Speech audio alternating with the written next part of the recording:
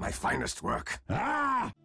And they're going to see this here. Smoke's been popped, but they already make the commitment for Bulldog. EGM tries to get there, but he is so far away. Bulldog is going to be able to turn the corner under the tower, but Quickfoot makes the Timber Chain jump. Chakram flies out. Bulldog's still good. He's going for the TP here, and oh, he's not going to be able to get it.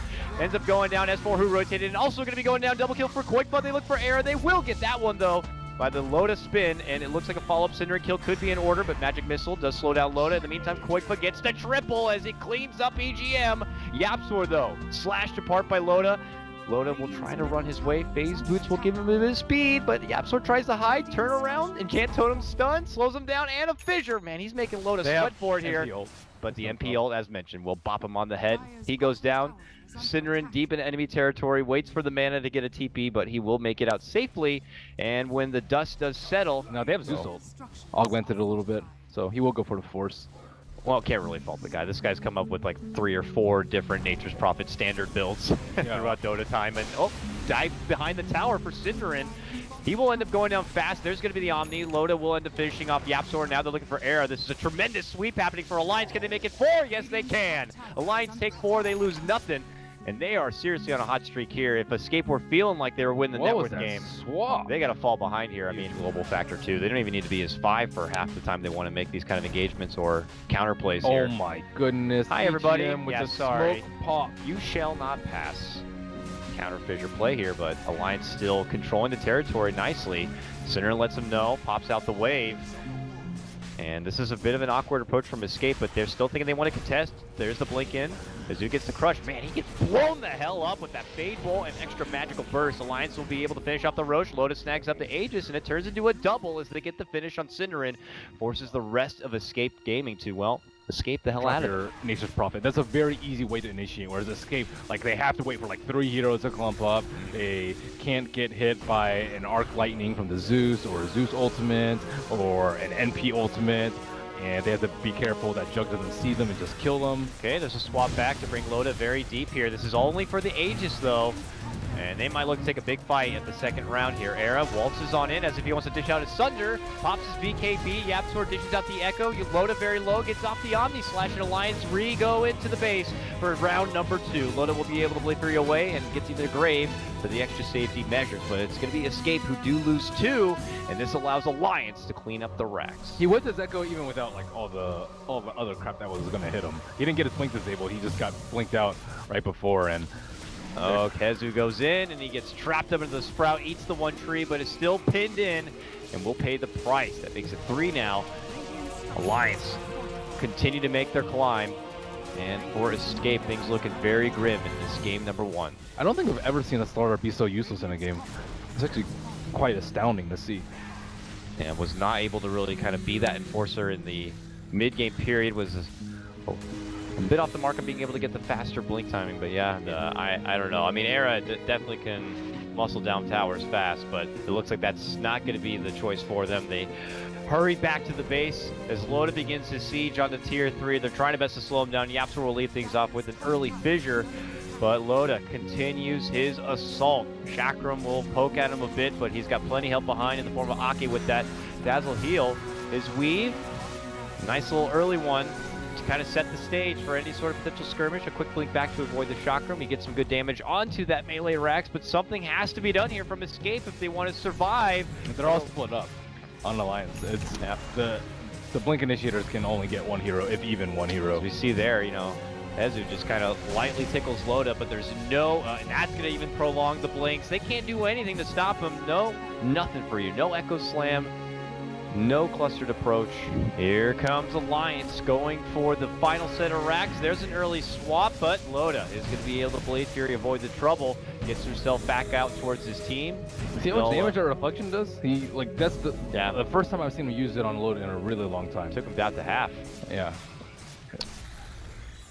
It he hurts and he has to like, he, he like Scotties himself. Mm-hmm. It's it's pretty good, but when he's spun, no chance. And he has a lot of evasion, so at this point, reflection not going to do too much damage to him anyways. But wait for spin, wait for your scepter. Two minutes left on Aegis. This is it. Here we go. Can't escape. Hold the final round here from Alliance install this one out in hopes that maybe they can find their way to creep back into this game, or will Alliance close out a wonderful performance pretty much from them by from top to bottom. This game has been pretty much theirs from the get-go. Not really at any point was Escape Gaming in the positive as far as net worth goes. Here's Alliance already, 25k plus, and there it is. This is going to be swapped back again for Loda. There's a reflection, man. He's getting low, but they got the preemptive grave for him. There goes the T-Gods. Everyone very low, going to be forced back and away. This tier 3 is to drop. And now uh, with the Sunder, Era can, you know, live to fight on, but Alliance get what they need, reposition, and we'll go again for potentially the exposed set of racks. Yep, reset with the healing ward. Everyone's at full HP. They did not even get the Aegis on Loda, and with one hero in the grave with the T3 already fallen, it's a foregone conclusion. They still have Echo, but again, Alliance with their wonderful positioning, there's just no easy target. They just might have to settle or be at risk of just being going into Megas. So what are they going to do about it? They move in. There's the stun. Lotus says, no thank you. Goes right to Omni Slash now. Jumps back it away tries the best to thwart things off with the Lotus Orb. Double telekinesis, that looks funny, but nonetheless, it quickly is short-lived. And uh, Alliance will double back and see that Qojqva is trying to make a retreat out. Drawing their attention away from the base, I suppose. But that will be the first game, Ben. And it goes to Alliance. Hey, Zeus, not a bad answer for the Nature's Prophet. You put that together with all the extra global presence, the wonderful farm from Bulldog and Loda as well. They make it look oh, easy. Oh, and Flame Break here coming out. Bulldog, whoa, skims right past him here. Very awkward position. Gonna get telekinesis up. Now eating a lot of brute force here, but there is gonna be stomp from EGM, which saves him in the meantime. But they got that glimpse that was stolen. They bring him right back into the open arms, and they will take him down. His dead body very awkwardly flies in the skies and dissipates, but YapzOr saved up from the shallow grave as they trek into the Alliance territory here.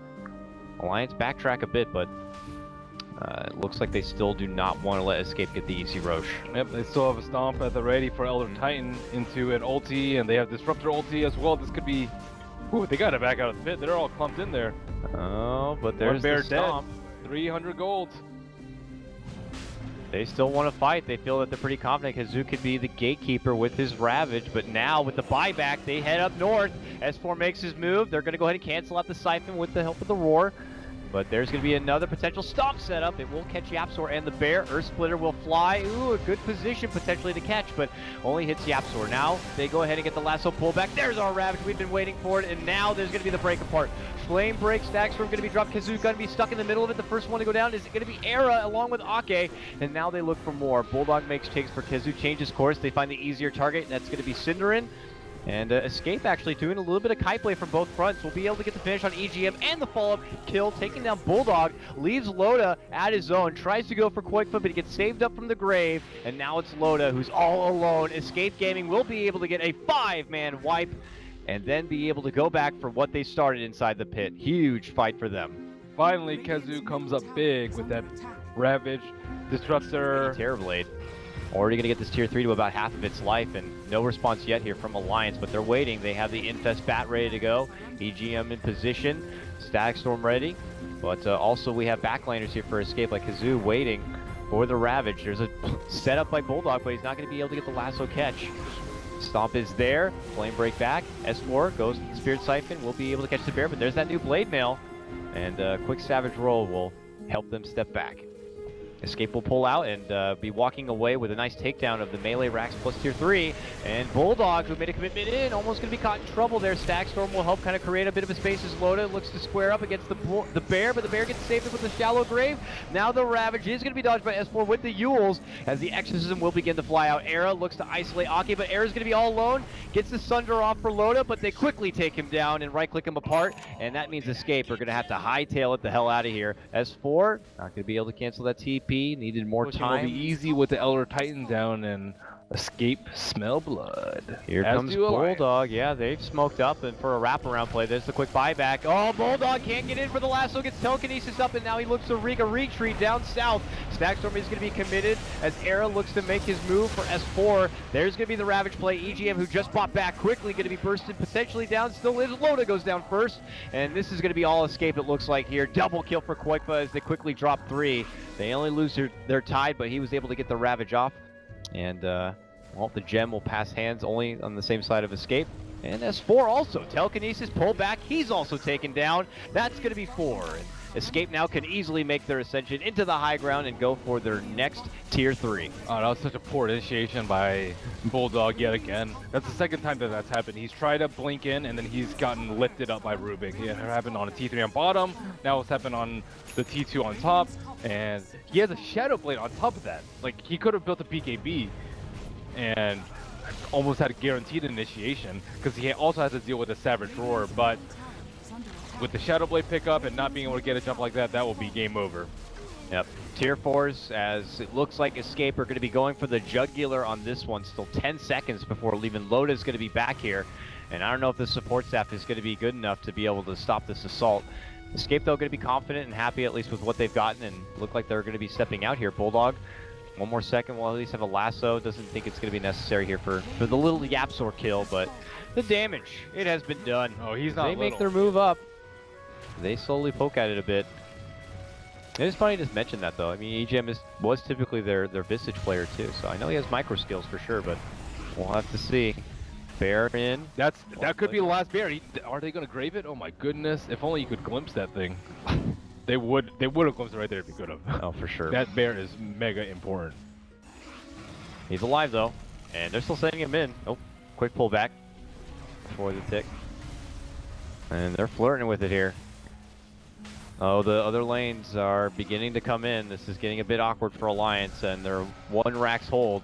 But Arab begins to have a siege here. Tier 3 now at about half of its life. What can Alliance do to stop Escape? Escape are on their way to pushing this into a game number three.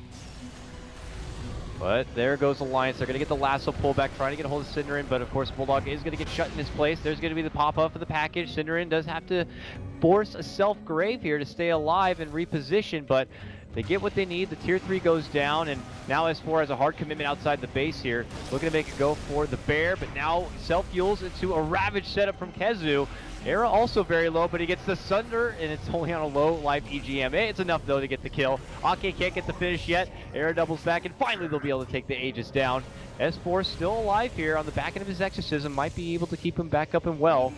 Doubles back inside the base, now briefly forced forward.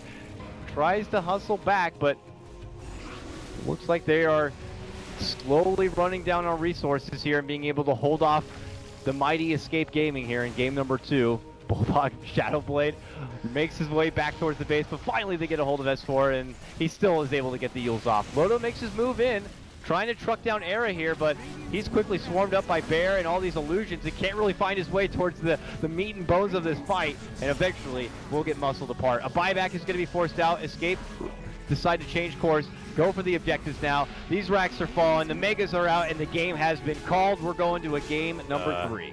Based on the approach that they make, it could be left to be desired here by Escape if they don't get a good start. And there's going to be the jump. There's the gush. They're looking to go for Akke. Akke gets the blinding light off, but now they'll be able to focus him down. Both supports will be dropped here. While Loda makes a go for Cinderen. Cinderen gets the cold embrace, but Loda's determined to get the finish there. Will be able to do it. Goes into Shadow Dance, looks to sidestep. Bulldog makes his approach, and they're able to get the Yapzor down. KheZu catches both S4 and Bulldog with the Ravage, but they're able to shrug that one off, go for the Watermelon Man, and be able to slice him up and flatter him up for a future picnic. But nonetheless, Loda with a triple kill. And that was Escape making the approach in the initiative. truck in, and S4 says we gotta go. Oh, canceled out. Nice stolen roar from Yapzor will lock him in his place. The follow-up Ravage will be there, but the damage isn't available. They're eating a lot, and S4 will be able to jump away, almost being able to get the catch. It's Loda for the Rubik, and they're not done yet. Boom! Finger connection! Winter's Curse turnaround is gonna be too late to save the Qojqva Death Prophet, and S4 is back and just as mighty. He looks to go, finds KheZu, it looks like they'll be able to slash him down, and it's a double kill for S4. Obviously, S4 will be able to slip out. Yep, he doesn't have the Aegis, so or he does have the Aegis, so he doesn't want to commit Ravage to him. Uh, not anymore. so now is their best chance if Escape want to try to take a fight while the Aegis is down. Loda finishes off the racks. We'll have to pop his BKB to make it out safely, and EGM's already kind of starting things down this mid lane. It's GG. over. Okay. It looks like Escape Gaming have recognized that their backs are too far against the wall and there's really no opening. And with the way the game was going, Alliance just continued to just build up and bulk up and bulk up while Escape can't get, even get out the front door